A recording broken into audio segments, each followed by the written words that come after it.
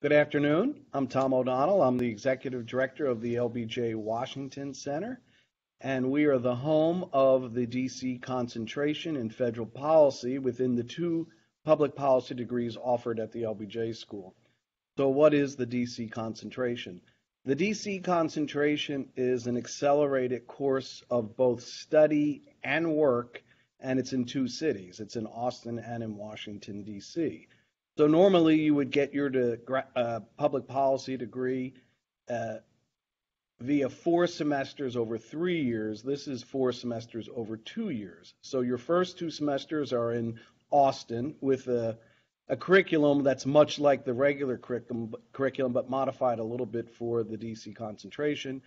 Uh, it, in, when you finish the spring semester, you move immediately up to Washington, D.C. You have the summer and fall in DC where you're taking classes at night here at the Washington Center two nights a week. And you're working in basically full time jobs all around the city.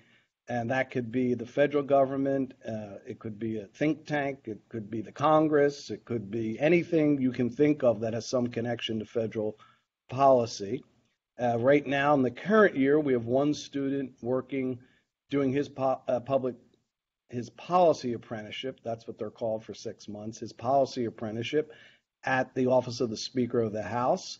And we have another student at the American Enterprise Institute. We have another student uh, who's working directly for the staff director of the House Budget Committee on the minority or Democratic side. So really, the uh, it's very student driven. Uh, we assist, and the LBJ faculty assist, and, and, most especially the LBJ alumni up here in DC work with students to secure these policy apprenticeships.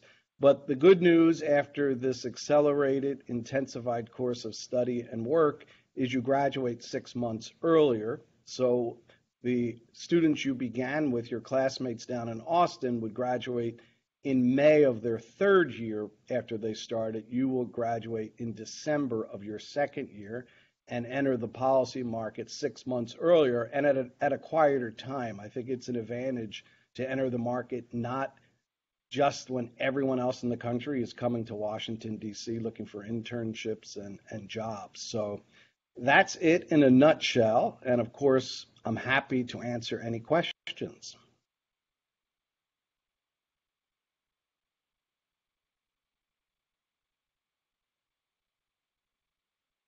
Can you speak, Tom, a little bit to what your experience, what a student's experience is going to be like in DC? So they arrive and what happens? So when they arrive, uh, well, we have an opening night reception for them where we have all of the DC faculty, some of the policy apprentice supervisors, so from the Hill or from think tanks, a lot of our alumni, and they we have a nice evening where people can network and then either the next day or the following Monday, their first classes begin at night. We try to have classes on Monday and Wednesday night. The students seem to like that best for their schedule. But for sure, the following Monday, their policy apprenticeship starts. So they begin working the minimum amount of time as students must work to get the appropriate academic credit is Monday through Thursday, eight hours a day. But we find our students tend to work more and that's because they want to. So there is uh, time management is an important skill to either have or master during your two semesters in Austin, because it is a, it's pretty intensive and it is accelerated. Again, with the payoff that you graduate six months earlier and uh, off cycle with the job uh, market of the summer. Thank you, Tom. When you are reviewing candidates, a question that we receive a lot in admissions is what makes a successful applicant? What are you looking for? That's an excellent question. Obviously, we want smart students. Uh, the DC public policy marketplace, as you can imagine, is pretty competitive because we have all the public policy schools in the country sending students here, and several of those public policy schools are located here. So obviously a basic level of smartness. Uh, but just as important, a level of maturity, which could be reflected because of prior work experience, that's important. But it, uh, some some demonstration that a student can handle the concentrated nature of the work because it does get pretty intense up here in DC. Of course, we've had I don't know, close to 40, we will have close to 40 graduates through the program, and all have graduated and all have gotten jobs. Uh, but time management, so we're looking for mature students. And then I guess the third thing is we want to look at applicants who have a demonstrated interest in public policy, and to the extent they can explain why DC makes sense for them, that's very important. So we've had strong applications from some students who don't even mention Washington D.C. That's a big negative. We we we usually won't admit somebody like that, uh, but somebody who demonstrates either through prior work experience or uh, names a few places that they could see themselves working at in D.C. That's a big plus. We like to see that kind of focus because again, it's an accelerated program. There's not a lot of time to sit back and think, all right, what do I want to, I want to do when I get to DC? We will walk students through that process, but we'd like to see a demonstration of focus in the application. Can you speak a little to the flexibility within the schedule because it is concentrated? Another question we often get is when a student comes into the DC concentration, what options are available in terms of classes? Are they able to take anything outside? What does that look like? Yes for the first two cohorts that we had in the DC concentration, there really it was pretty a rigid curriculum to be fair. People could pick different sections among core requirements. So obviously everyone has to take microeconomics and you could the DC students could take one of several sections. But we did think we needed to loosen up the curriculum. So for the current cohort that's in Austin right now, we've moved their public policy, their public management core course up to Washington. So they'll take that up here. And what that does, it gives them all an elective down in Austin. They can take it in the spring or in the fall. And that's one element of, of uh, loosening up the curriculum. For the GPS students, uh, there's a writing requirement for all the DC students, but we allow the GPS students to take GPS writing sections. That's also uh, something that we thought was very important so they get a little more exposure to a subject matter area that they like. Now, when they come to DC, they are all in the same classes, so there, there's no flexibility, if you will, up here.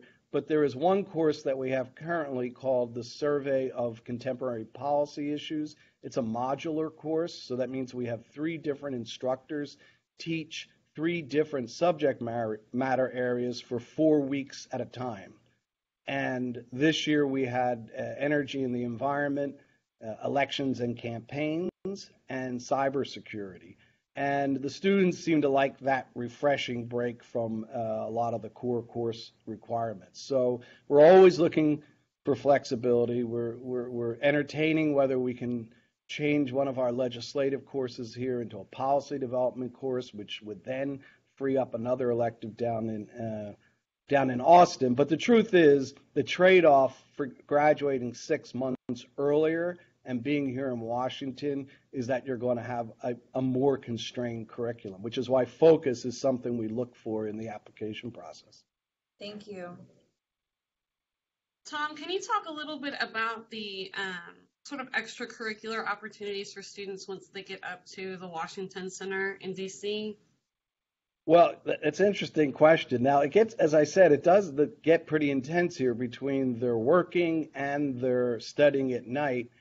But we put on a fair number of networking events. We work very closely with, for instance, the Archer Center, which is for the whole UT system, with the DC Texas Exes, with the LBJ Alumni Association up, Association up here. So last night we had an event. Uh, the LBJ Foundation gives out a uh, something called the Hardeman Prize to uh, the to the person who writes, usually a scholar, the best book on the U.S. Congress. So last night we hosted that, and we will host it going forward. The awarding of that prize to a Princeton professor, and we had former uh, Senate Majority Leader Tom Daschle here serving as the moderator, and then we had a reception here for between 80 and 100 people. A lot of them were LBJ alumni, and that's an example of the kind of things we try to do that give the students the ability to network. Now, of course, they're all networking like crazy on their own. And uh, one of the requirements of the policy apprenticeship course is that they submit a weekly pub, a weekly policy apprentice journal. And Robin and I read through those, and we really can see all the network that they're doing because they're all over the city. They work with each other to do networking. So beyond the formal networking that we do, uh, they do a lot of informal network. As you can imagine, the number of things that happen here in Washington, D.C. on any given day. The other aspect of the program that we haven't mentioned is that we do, uh, each LBJ student is afforded a mentor while an alumni mentor while they're in Austin. But when they come to Washington, we also hook them up with a DC area senior alumni mentor that they can talk to uh, about just anything they want. Any, you know, what's it like to live in DC? Uh, how does my career unfold? And uh, that that is good. Many of them use the senior mentors, but many of them also develop their own mentors just by poking their head around town. Great, thanks. And can you also, I, I know I understand that the point of the, the program is to end up in DC, but uh, can you talk a little bit about, you know, if there's a student that maybe doesn't end up in DC, what kind of trajectory the program can give for them just in general? Oh, yeah. Well, I mean, first of all, the LBJ school, you know, one of the top 10 public policy schools in the country. So all of our students, whether they're in Washington or they do the traditional program in Austin, are getting, you know, the great fundamental found academic foundation for a public policy career. If they come to DC, they the the opportunity to work and study at the same time that translates very well when they enter the job market. Most of them stay here in Washington, but we've had several go to Texas. We have one right now up in Massachusetts. And they, even though they didn't stick in DC, and maybe they'll come back, uh, they all say the same thing, which is they just feel prepared. They hit the ground running on both working and having the academic foundation to do what they need to do to be successful in their jobs. Great, thank you. Tom, is there anything in general that you can think of that you would like to tell a prospective applicant, somebody who's looking and they're not so sure, like what is, what makes us so unique? Well, I can say for the school in general, it, it's a very boutique kind of school. We have a very, very, uh, I don't know if the word's low or high, but we have a lot of professors per student. And what I've observed in the almost four years of working with the school is that it's a very intimate experience. The professors really do care about the students. The alumni really care about the students. And then for people in the DC concentration, it's a super intimate, it's a boutique experience, if you will, when they get up here because, you know, we'll have probably at most 20 students any given year. And so they really bond together. The LBJ alumni up here take a very special interest in the DC concentration students. So if I had to use one word for the whole experience of LBJ, I would say it, it's intimate. I love that. I also love the focus that it requires to be a successful candidate here in the DC program. That's something that students often ask about. I think knowing that in advance is really useful. Yeah. And if they look closely at the application, they can always look at, you know, the general MPAF and, and GPS applications. You can see our questions are tailored just a little bit more towards talk to us more about YDC and talk to us a little bit more about what you see yourself doing in the future and what you've done in, in the past. Now, having said that, we have admitted several right out of undergrad students who have been superb and uh, they are academically strong. There's a maturity, but our application process is a little more intimate again in that both Robin, who's sitting here, my mm-hmm. deputy director, and I, we Skype with every student that we are probably going to admit or who we are wondering, hmm, let's talk to them a little more and see what we think. So people get a chance to make the case to us in person as well.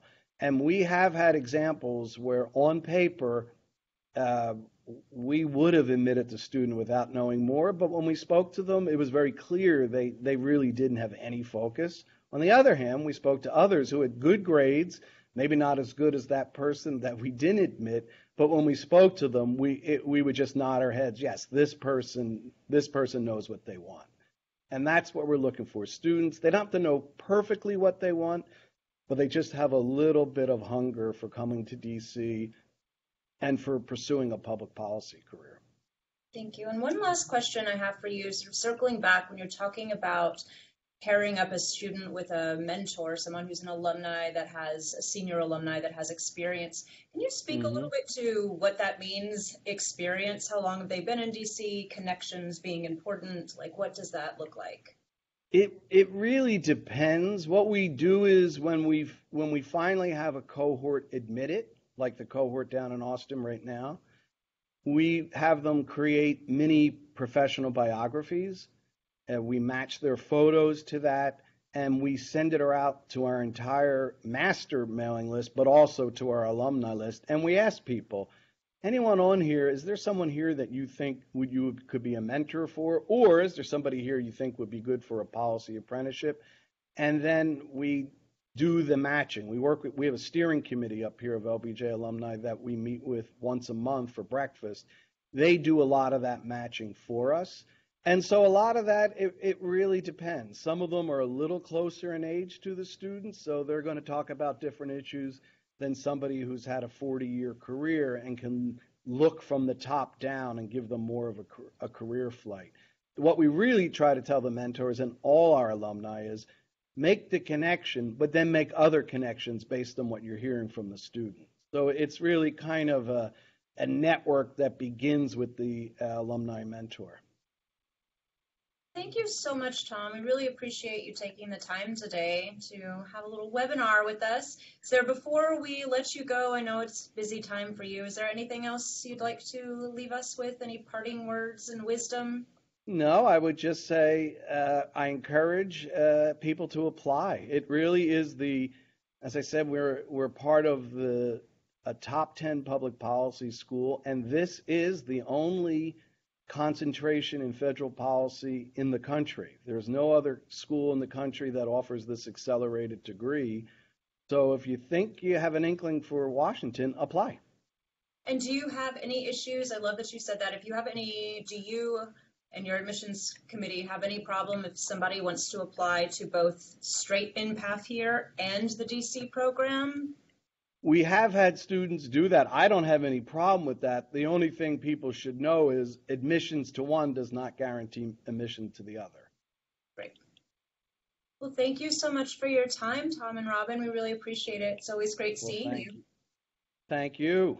Have a good rest of your afternoon. Thank you. Thanks. Bye-bye. Bye.